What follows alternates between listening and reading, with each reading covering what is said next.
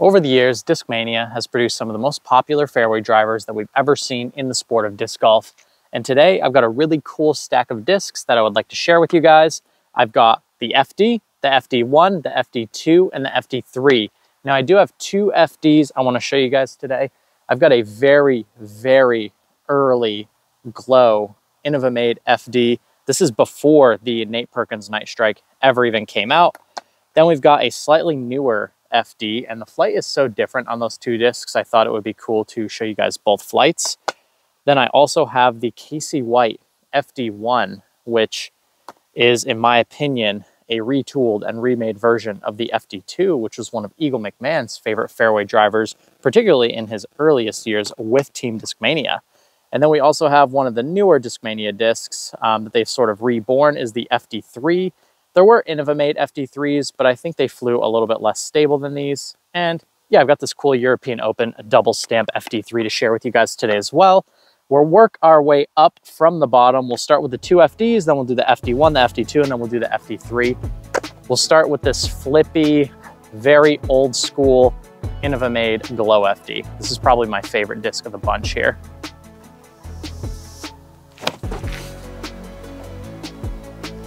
Getting a nice turn in the mid-flight. Um, very, very glidey, very, very straight. Kind of the quintessential FD flight that everybody has grown to love. Then we've got the Jackal Run FD. This one happens to have a tournament stamp on it, but it is from the Jackal Run.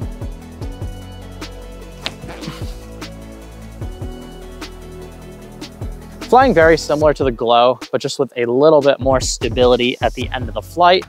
Then we've got the Casey White FD1.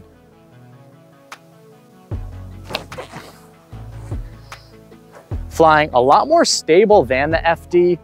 Um, that's what it was designed to be. It was supposed to be that drive it hard and flat. It's gonna go straight most of the way and then fade to the left at the end. Then we have Eagle McMahon's been the one who was most known to throw these. These are very hard to come by. We've got an original FD2.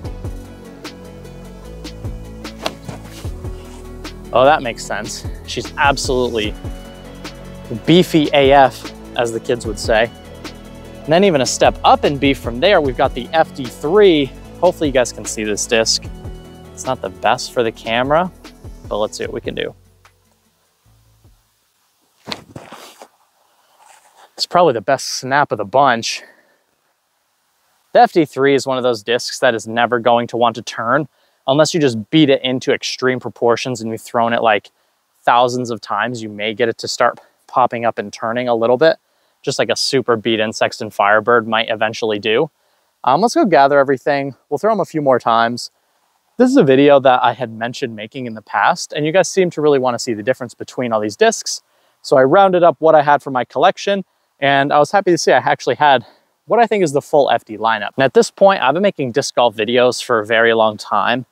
And I, re I remember as these new discs sort of came and went, when I first got into disc golf, basically everybody was throwing the Discmania FD. It was just basically slightly more stable than a Leopard, slightly less stable than T-Bird, and just that perfect disc for players of all arm speeds. And then they came out with the Night Strike runs, the Night Strike 2s being very stable, the Night Strike 1s being flippy, extremely sought after. Simon Lizotte was throwing the Night Strike 1 for a very long time. He had an orange one, and he considered it to be the mid-range of fairway drivers because he could basically get it to hyzer flip, turn, do anything he would want a mid-range to do, but he would just do it with the Night Strike instead. Um, these discs have really cool history, and Team Discmania has a really interesting history, having originally been paired up with Innova, in my opinion, basically being treated like Innova Europe, and then eventually branching off and doing their own thing, and then eventually being purchased by Latitude 64. It's a pretty unique and interesting development of how they grew and changed over the years. And early on, the new like Discmania made stuff I wasn't a huge fan of, but I'm starting to see a lot more molds come out, um, a lot of new plastics come out. I'm actually slowly becoming more of a fan of, and I really like the direction that they're currently heading in. We'll give everything a good toss back We'll start off with the Glow FD. I actually got this one from when I was living in Australia. I got this from a player named Ryan Budge. Not sure if he's even really playing anymore. I haven't really looked at his PDGA profile in a while, but he was on Team Innova Australia, and this was a disc I saw him throw very well for a long time, and then he eventually sold it to me, and I still have it. So shout out Ryan Budge.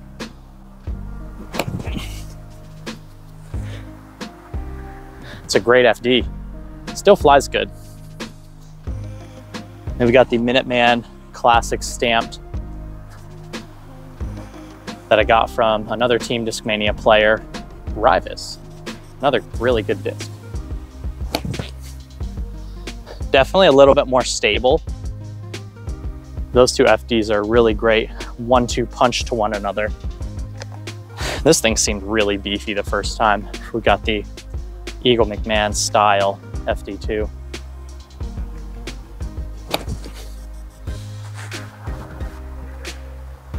Not wanting to go, well, it actually went just a little bit further than the uh, FDs. Probably because it wants to.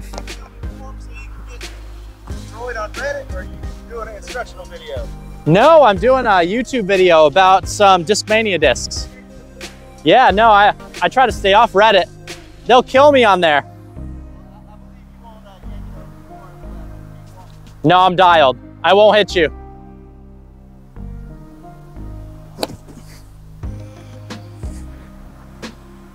The White FD1 was a lot more stable when it was new. I've probably thrown it roughly 10 or 15 times and it definitely seems to be a little bit straighter than I remember. But also recently I've been throwing a little bit harder and a little bit more nose down than I used to. So I'm getting a little bit better flight out of it. Now we've got the FD3. We'll flex it so we don't hit big homie on the left.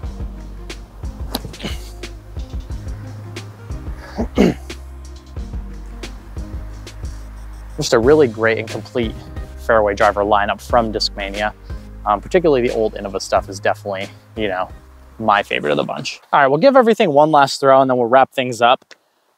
Honestly, I probably need to throw this Casey White Skywalker FD1 a little bit more. This thing is flying like an absolute beauty. I've been changing my fairway drivers very often lately. I kind of the flippy one locked in. I really love the Brave, but I had a T-Bird in there and I've got a Kristin Tatar, like Ice Glimmer Explorer in there.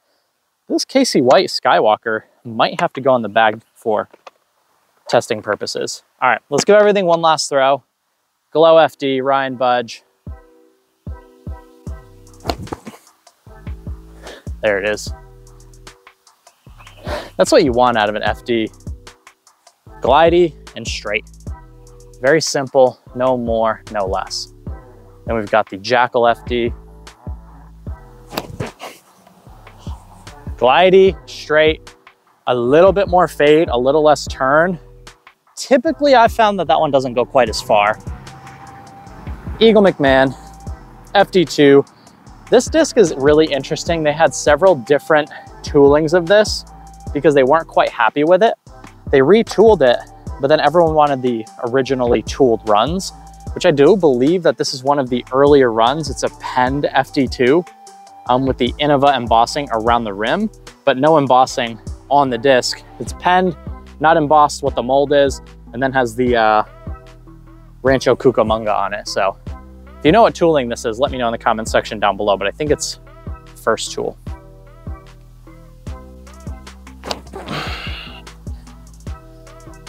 That one's really nice too. I feel like I can like really smash into that one. Then we've got Skywalker himself, Casey White, similar line. Just as stable as the FD2, they're trying to make something similar. They absolutely nailed it. Then we've got the double stamped EO FD3 on the flex. Last throw of the day, and then we'll wrap this video up. Way more stable than everything else. Anyway, guys, I hope you learned something about the history of the fairway driver line from, you know, the old Innova runs all the way up to um, some of the new Discmania stuff. Anyway, I'll see you guys in the next video. I really appreciate you guys who watch my videos all the way to the end. Make sure you're subscribed, hit the like button, go check out my sponsors, Power Grip USA, BergsDiscSports.com. Both of those have discounts, the link in the description below. See you guys in the next video and take care.